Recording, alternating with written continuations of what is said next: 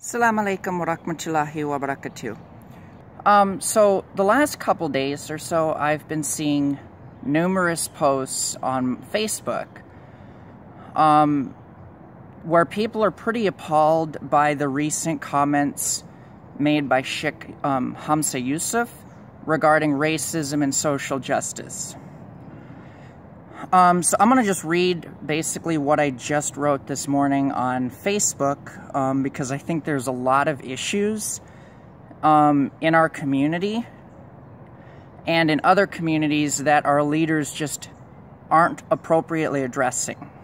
I listened to Yusuf's 45 minute speech, um, which was basically in a question and answer format.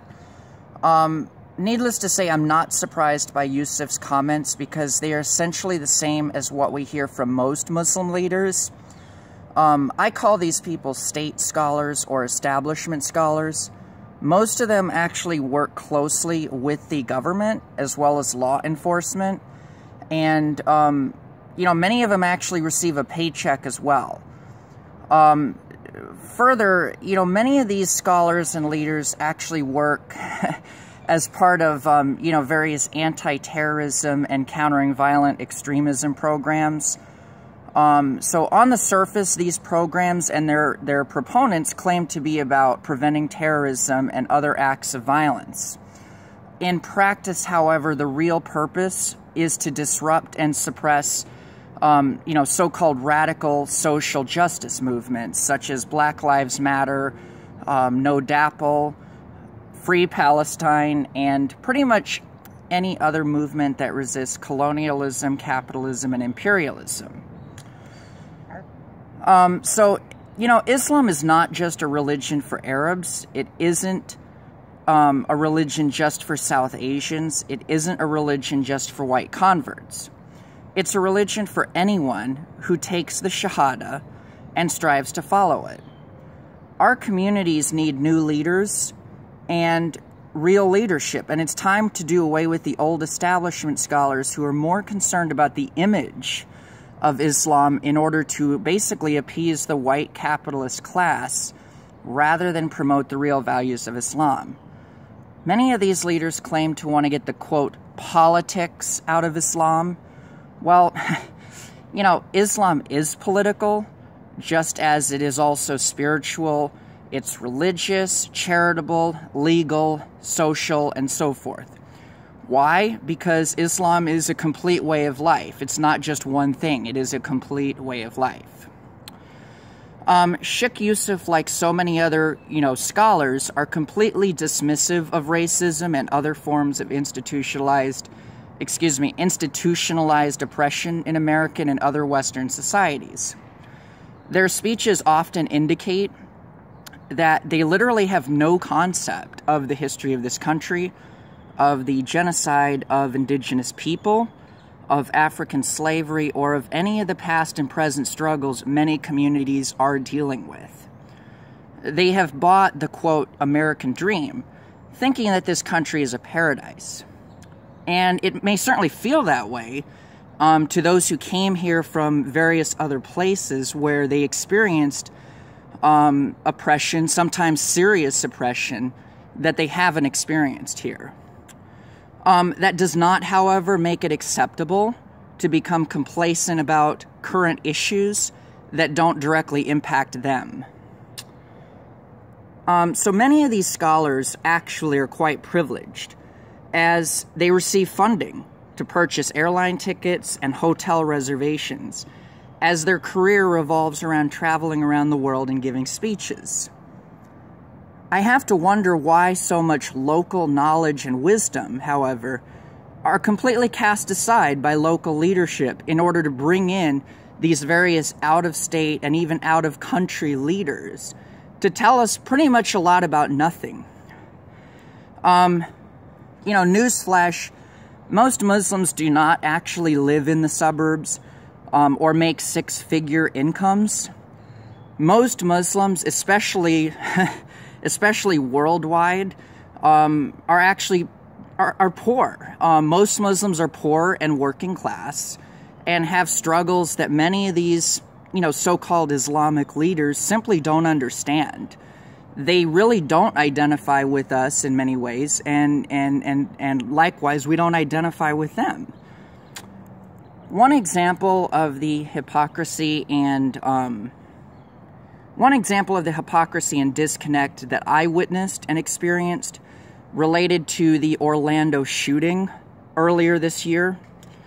Um, some of these same leaders that ostracized me from the masjid for being transgender and who won't even allow LGBT people in their masjids are, are the same ones who went to the national news media um, to tell everybody how much they supposedly stand with Orlando and the LGBT community.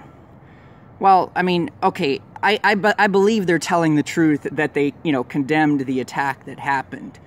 That much I believe they're telling the truth on. Um, but they did not really stand with the LGBT community because, again, I mean, you can see the hypocrisy. Um, I mean, essentially, you know, they don't care about what other communities they don't care about other communities or struggles until it becomes a PR opportunity. I really wish this wasn't true. Um, I hate to be so critical like this, but I mean, I'm seeing the results. How can you kick me out of your masjid for being trans and then go tell the LGBT, which includes the trans community, that you stand with us? I mean, it's you know it's it's complete hypocrisy. And again it's a total disconnect. Um, and and so when the reporters and the cameras are gone basically they go right back to bigotry and business as usual. These things need to change. Um, if leaders are not representing the people they claim to serve then they need to step aside so that new leadership can step up. We need leaders in our communities to do a better job at both learning how to be an ally to other communities, as well as learning how to appropriately utilize our own allies who seek to stand with us against Islamophobia. You know, some say I shouldn't be so critical of our leaders because they are imperfect and human um, and maybe ignorant about certain things. Okay, well, we're all imperfect, we're all human. Yeah, nobody knows everything. I get that. Um, but I disagree with this mindset because leaders are held to a higher standard um, because they're entrusted to guide the Ummah. Um, it is their responsibility to learn about new things as they come up. And there really is no excuse for intentional ignorance. This idea of saying, quote, you know, well, this isn't our issue. Um, it's it's a cop out. It really is. Um, if you are a Muslim, then following the principles of Islam is your issue. If someone is hungry and you can feed them, it is your responsibility. If somebody is suffering from an injustice, it is your responsibility to help alleviate their pain and stand up to their oppressors. It doesn't matter whether this involves other Muslims or whether it involves non Muslims this concept of just making dua and being patient that our leaders constantly promote is actually not the Islamic way. Um, Islam teaches us to trust in Allah, but still tie your camel. We need to have sabr or patience, um, and we do need to make dua, um, but we also need to take action where and when appropriate. Um, and that being said, Racism is absolutely unacceptable in Islam. It is haram according to the Sharia. Um, but, you know, that doesn't mean that Muslims aren't racist. Um, nor does it mean that Muslims should not do more to combat racism. And likewise, Muslims can both be victims of racism and be perpetuating it at the same time. Islamophobia is rooted in three problems racism, xenophobia, and hatred of Islam itself. Yusuf never went there in his discussion, despite the fact that the discussion actually opened with the topic of Islamophobia. Yusuf is a white male, and he needs to understand the privilege that he has and to actively work against systems of privilege and oppression. Um, our communities have a lot of work to do, and you know, it's it's none of us are perfect. I'm not perfect. We're none of us are perfect Muslims. I understand that. Um, but this is not the time to be complacent. This is not the time to be apathetic. We are going to be held accountable, each and every single one of us, on Yom Al Qiyamah, or Judgment Day. So we need to do what we can to be better Muslims ourselves, to make a better world for each other, for all human beings, for every, you know, form of life, and we have to hold our leaders accountable.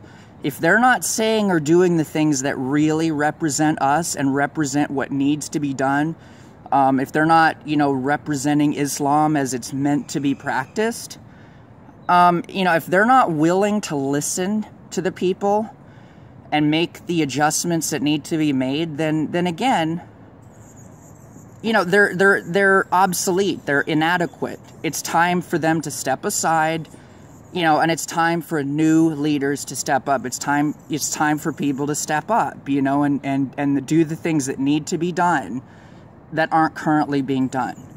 Anyway, that's these are my this is my opinion. Um, you know, this is already on my Facebook. This is going on YouTube, so, you know, feel free to discuss, debate, or get angry if you want to. Um, but yeah, I'm not going to be silent about these matters. Assalamu alaikum wa rahmatullahi wa barakatuh.